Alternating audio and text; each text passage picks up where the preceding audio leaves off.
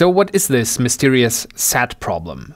So SAT stands for Boolean satisfiability. Of course, that also doesn't tell you very much, but I'll soon get into what Boolean satisfiability is. You should just note that SAT is one of the most famous and most studied problems in theoretical computer science, and it's the basis of many landmark results. So it's always a good idea to familiarize yourself with what SAT is about and, and why SAT can be so hard to solve. So what is the Boolean satisfiability problem? The input for SAT is a so-called Boolean formula, and that actually sounds much more intimidating than it is, because Boolean formulas are very simple structures. They consist of only four building blocks. As any kind of formula, we have variables. And those variables I'll write in this course usually as x1, x2, x3, and so on.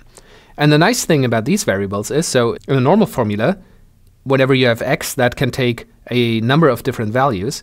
But in a Boolean formula, a variable x can only take two different values. It can either be true, which is sometimes also written as a 1, or it can be false, which is sometimes also written as a 0. The second thing you can have in a Boolean formula is an operator called not. And how you write that is if you say have a variable x1, then this here would be not x1. Or if you have x2, this here would be not x2. And what the not does is it turns a true into a false and vice versa. So it also turns a false into a true.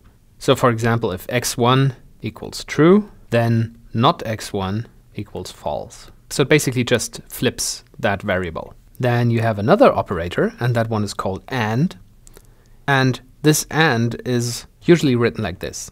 And it works on two variables. So you have x1 and x2, or any other variable. And the way it works is that this expression here, x1 and x2, is true only if x1 is true and x2 is true. Otherwise, it's always false. So I'm going to write this as ones and zeros here, just to make it a bit shorter. But you know that one stands for true and zero stands for false. So it's, it's the same. So 0 and 0 equals 0. 0 and 1 equals 0. 1 and 0 equals 0. And only 1 and 1 equals 1. And the final component of a Boolean formula is another operator called OR. And OR is written just the other way around. So it's, it's, it's written like a flipped AND. So it's x1 or x2. And as the name already suggests, that is set to true or set to 1 if at least one of these variables here is set to true. So 0 or 0, that will still be 0. But 0 or 1 will be 1. 1 or 0 will be 1. And 1 or 1 is also going to evaluate to 1. So let's practice this in a little quiz. Let's say you have the following Boolean formula. x1 or not x2 or x3 and not x1 or x2.